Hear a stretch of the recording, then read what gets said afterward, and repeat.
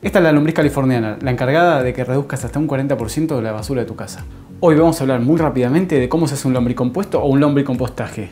Al tuntún, hablando así nomás, o resumiéndolo muy rápidamente, sería el método mediante el cual la lombriz roja californiana transforma los desechos orgánicos de tu hogar, de tu oficina, de donde sea, en compost o abono orgánico de muy buena calidad para tus plantas. Hay muchas formas de hacerla. Pueden hacerlo tanto si tienen un jardín en el fondo, lo pueden hacer en, en recipientes como este, así, en estos otros.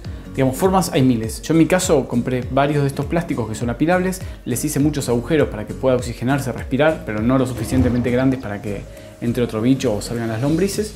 Y en esto vamos a empezar a depositar nuestros desechos orgánicos. ¿Qué se puede tirar?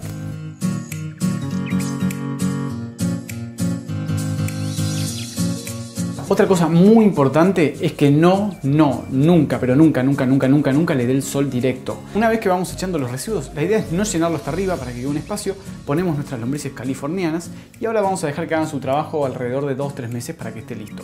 Tratemos de equilibrar y que haya una humedad relativa al 70%. Así debería estar, mirá, mirá esta consistencia. ¿Ven cómo se deshace? Está blandito. No tiene olor, tiene un olor...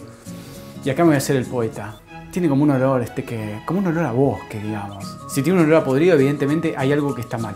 Porque a medida que las lombrices van trabajando sobre los desechos, va cayendo algo que se llama humus líquido. ¿Ven? Es un líquido así de este color oscuro. ¡Qué asco, qué asco! Y que esto lo pueden utilizar también como abono. Pero ojo, acá tienen que hacer sí una medida del humus líquido y nueve medidas de agua. ¿Por qué? Porque si no sería muy fuerte y podría dañar nuestras plantas. Bueno, Espero que les haya gustado el video, mi nombre es Felipe Castro, si les gustó pueden seguirme, pueden comentar, pueden dejar me gusta, pueden decir comentarios, pueden decir qué quisieran que hable, que no. Bueno, muchas gracias por todo. Salió bastante bien, ¿eh? siempre quise hacer eso. Veía a los jugadores, viste, cuando hacen el gol así como... Eh".